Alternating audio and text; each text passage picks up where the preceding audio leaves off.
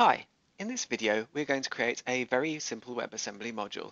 Firstly, to give, give you a better understanding of the structure of WebAssembly. Secondly, to learn a little about how WebAssembly is, is run and integrates with JavaScript within, within the browser host.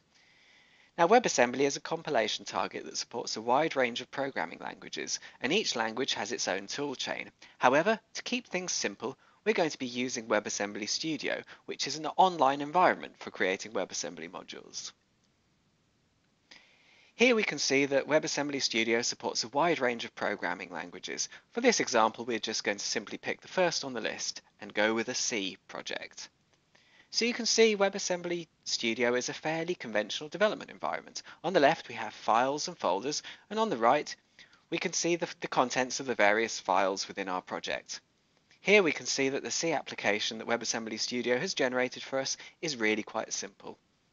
It, it is a single function called main which returns the value 42.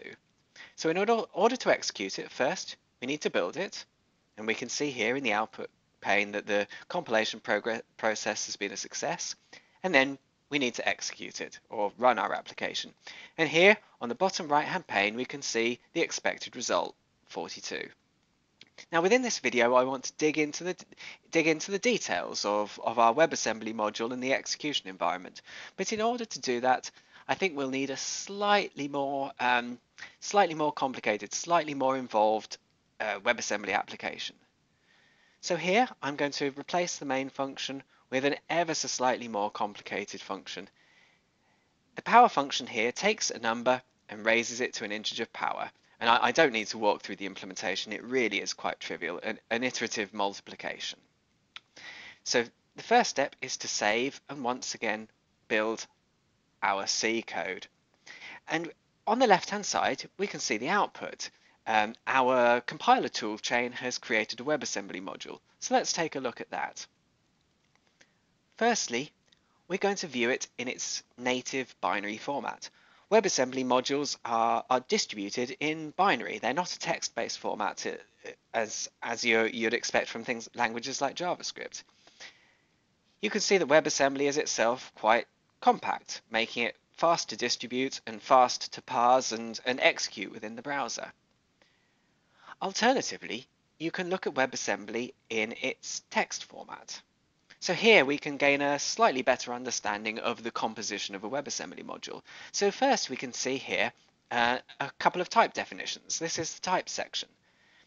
These type definitions are then used by some of the functions later on in the module. And again, this makes a more compact format. You declare the type signatures up front so that they're not repeated. Next, we can see the, the result of compiling the C power function to WebAssembly, and these are the underlying WebAssembly instructions that have been generated by the compiler. Again, a relatively simple application. We'll not dive into too many of the details, but I'm sure you can, roughly speaking, understand what some of these instructions do. For example, we have an add function, which takes the two previous values which have been pushed on the stack, adds them together, and, and pushes the result back onto the stack. Or we have a a, signed less than comparison that allows us to do simple branching operations. If you've ever worked with any sort of assembly language, uh, this will probably feel quite familiar to you. So how is this, this WebAssembly module actually executed within the browser?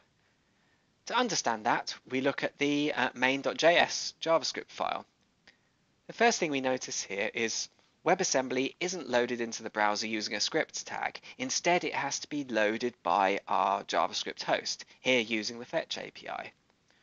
Once it's fetched, it's, it's um, accessed as an array buffer, and then the WebAssembly interface or the WebAssembly APIs are used to instantiate our WebAssembly module. So this takes the, the WebAssembly binary, compiles it, and creates a single instance of our module. And you can also create multiple instances if you wish. Once we have an instance of our module, we can then gain access to the functions that it exports. So here we'll update the code to invoke our power function. And if I save and run that, we'll see the result as expected is 256. So this, this simple example illustrates a few important features of WebAssembly. An interesting observation here is that WebAssembly itself doesn't have any uh, built-in I.O. functionality. WebAssembly cannot access the DOM or the file system or sockets. In order to do anything useful, it needs to interoperate with its host environment, in this case JavaScript. And your browser now has effectively two virtual machines that work in cooperation. You have your JavaScript virtual machine and your WebAssembly virtual machine that are that are in some in some ways tightly coupled to, to work together.